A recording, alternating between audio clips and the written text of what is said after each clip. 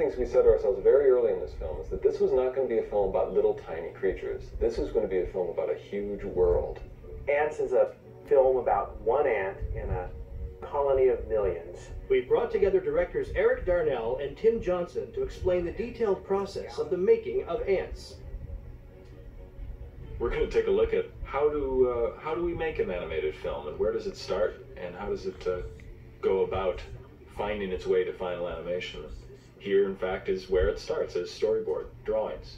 Sometimes primitive, very simple, sometimes very elaborate, but always about content. It's essentially like a comic book filmed in the timing and order of the actual sequence.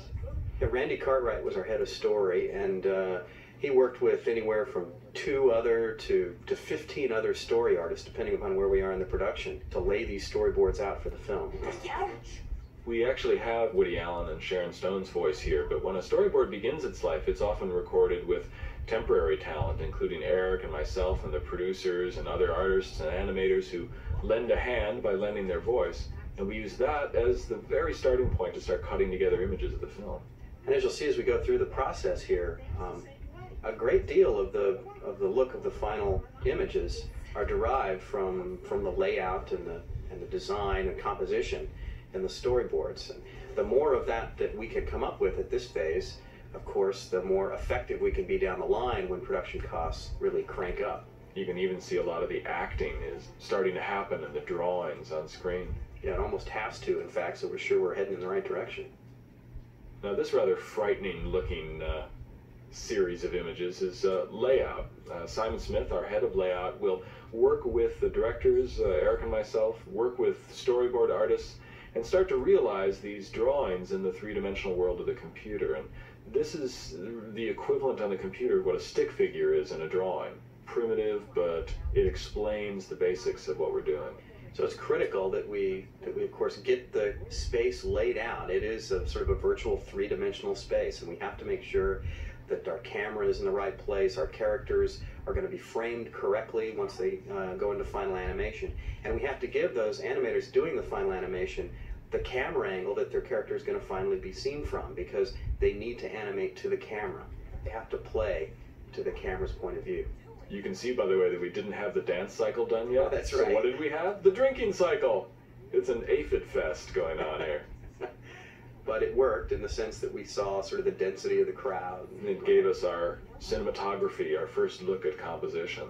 Animation really only works with camera, even though the layout artists work to give us a, a sense of some of the action. The animators will strip that away and start from scratch.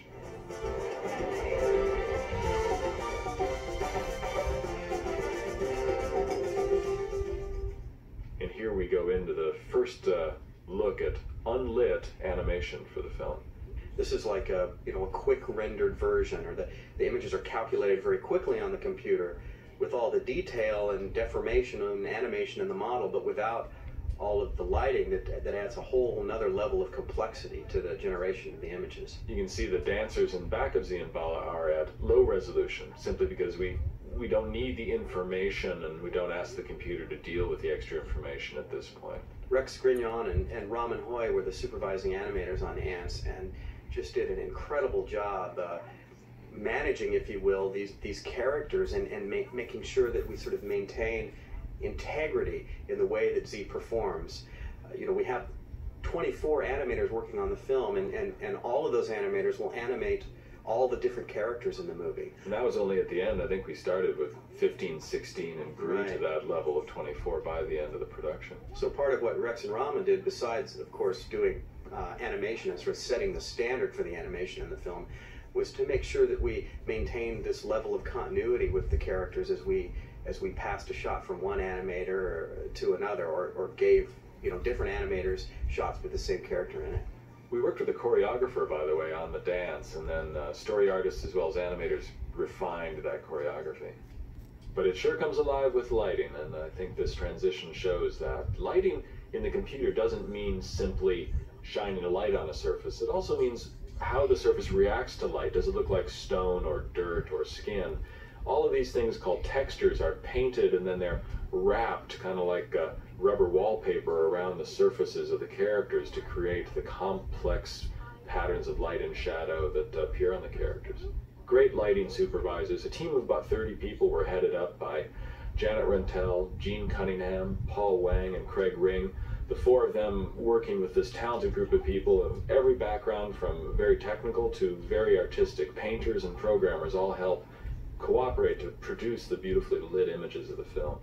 And again, it's often the little things that are done uh, in lighting, as with every other uh, specialty, that really make these images sing. You know, the, the highlights in the eyes of the characters, the way that the, the sheen on their bodies is, is just so. We did a little special effects work in this as well with um, making uh, the lighting look a little like through cheesecloth, you a little Vaseline on the lens, a little glowiness to things. All of those special effects add to the filmic lighting to create a little magic moment for Z and Bala.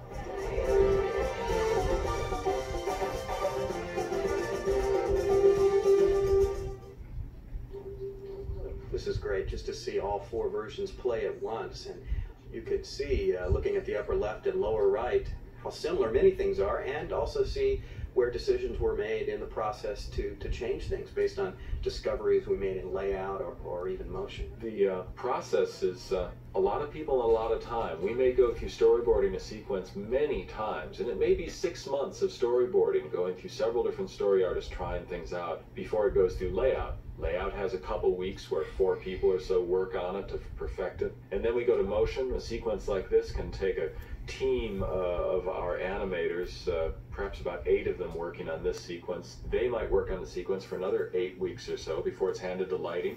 And they again may work with a team of oh, about eight people or so, taking another eight weeks to complete it. Any given scene of the 36 scenes in our movie may actually take upwards of uh, almost a year to actually go through the entire pathway of production. So you can imagine how many shots are actually in production at one time. It's, it's quite a, a job to manage all of that and, and make sure that everybody gets the feedback they need to keep moving forward. It's true, we sing the praises of all of our artists, but the production management, actually guiding this stuff through production, is terrific. Aron Warner, Brad Lewis, Patty Wooton were the heads of that whole production management as the producers of the film, and they really uh, created a team that could efficiently generate all of this creative output. So this is the section of the sequence, of course, where the drop of water comes down and Trap Z. Another look at uh, how the story is really told so effectively with some very simple drawings before you get all of the elaborateness of computer animation and before you get 100 people involved, you can really make an impact as a story artist on the film. You certainly learn a lot by seeing the whole film this way before you take it into production. You, in particular, um, a sequence like this one, which is so difficult to do water and computers, um, our effects department, uh, Ken Bielenberg and Philippe Gluckman in particular, uh, as heads of the department, they they look at the storyboard and they start to see the problems facing them as uh, effects animators, and they begin to work with programmers and design uh, all of the different technical ways in which they're going to pull off the sequence. At this stage, the modeling department starts supplying final models for things too, so that we can lock down camera angles and what have you.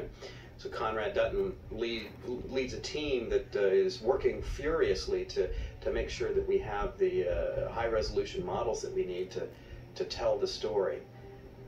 You can see a lot of the very early work of the effects department. And I think I mentioned actually in the, the commentary during the film how we altered the height of that water drop. You can see the pre-altered height and how really very short distance they fall. Here's the water drops that have been added. The effects department's Beautiful work. effects. Uh, Effects worked on this. the geodesic dome. Yes. It looks like he's trying to escape from Epcot Center, which, if you've been there, maybe you've experienced too. He's trapped in Buckminster Fullerene. Great interaction between Bala and the stuff the effects guys did with that sphere. And there we have again the uh, long drop this time. Compare that to what we saw in the layout, and you'll see how uh, dramatically uh, stronger that uh, feeling is when we increase the height. I think we ended up losing a lot of the water drops on the characters when we took them into lighting uh, because it was just distracting. Distracting. So you certainly learn things when you take it to this very final stage and often are making um, a number of adjustments. lighting, lighting, yeah, just extraordinary. The, the water, all the refractions, and all of the strange uh, effects that water has on light.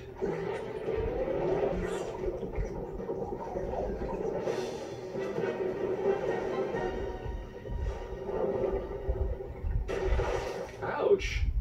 Here's a little bit of water on the ground, but you know, we really just felt it was too distracting to make a big deal out of it.